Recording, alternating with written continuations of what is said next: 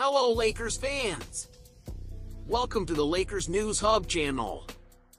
Please, subscribe to the channel so you don't miss any Lakers news. The Los Angeles Lakers have delivered some disheartening news for point guard D'Angelo Russell, casting doubts on his future with the franchise.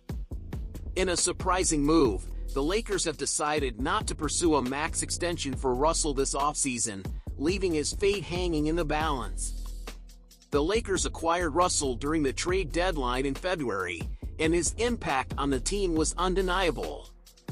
He played a crucial role in the Lakers' playoff push, displaying impressive numbers with an average of 17.4 points and 6.1 assists per game.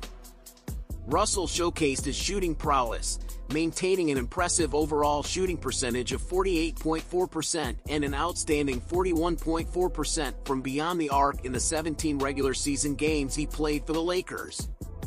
However, as the postseason arrived, Russell's performance took a significant downturn. While he contributed decently in the Lakers' earlier series against the Memphis Grizzlies and Golden State Warriors, his production plummeted when facing the Denver Nuggets in the Western Conference Finals. These postseason struggles have cast uncertainty on Russell's future with the Lakers, especially considering he is now an unrestricted free agent. While he was once seen as a surefire returnee to the Lakers, his underwhelming playoff performance has raised questions about the team's intentions.